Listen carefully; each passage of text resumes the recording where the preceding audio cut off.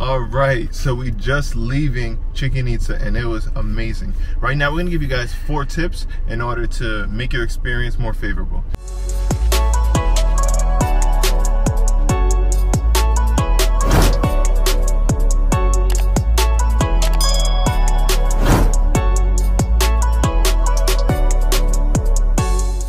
Tip number one is to get here early.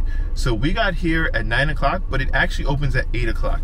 And the earlier you get here, the better, because when the tour buses roll in, it is packed. We're leaving right now at 12, and there are so many people. If you want to take any pictures, if you want to learn about anything, it's really difficult when there's a lot of people around. So that's tip number one. Okay. And now tip number two is to wear light colored clothing as well as to get a hat. So I got my hat here. You can bring your own hat, whatever you want to do, but you're gonna need a hat because Chichen Itza is located in an area that is maximally exposed to sunlight, so there is no shade actually. So you're gonna need to provide your own shade. Or you just gotta be able to deal with the sun and the heat, which was really difficult for us. Um, tip number three um, is negotiating. So here you're gonna find a ton of vendors, which is good and bad. It's good because they're selling a lot of the same things, so you can negotiate or just go to a different vendor if it's not the price that you want. And even this hat we got right here, we bargained for that and got it for a price that we wanted. Also, stick to your guns. The price. ¿Cuánto? In pesos Mexican, 450 per both. Oh, no. For both. No, Not each. Too much for you. Sí. And whatever price you have in mind, keep it in mind and don't move up or down. Just stay right where you are. Okay? Nice. This wood. Todo bien, gracias. Está bien. Okay, give me the 50.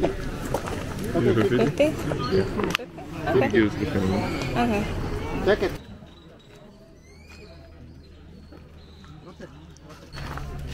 Do you have anything to say? That's how you gotta do it. You gotta make sure that you get a price, you stick to it, and you don't let them waver. Don't move up, stick to your price. Tip number four is definitely bring bug spray. There's lots of mosquitoes out here. You don't want to get bit up. Okay, you want to have a good time, not get eaten. So make sure you do all these things in order to ensure you have an amazing trip at Chichen Itza. One more thing, bring water. Yes. Hydrate, hydrate, hydrate.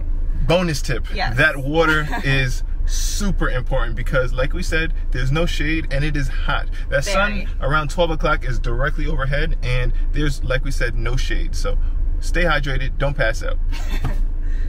All right, so thank you guys for checking out our channel. Truly appreciate you guys, and please subscribe for update updated content. And we'll see you later.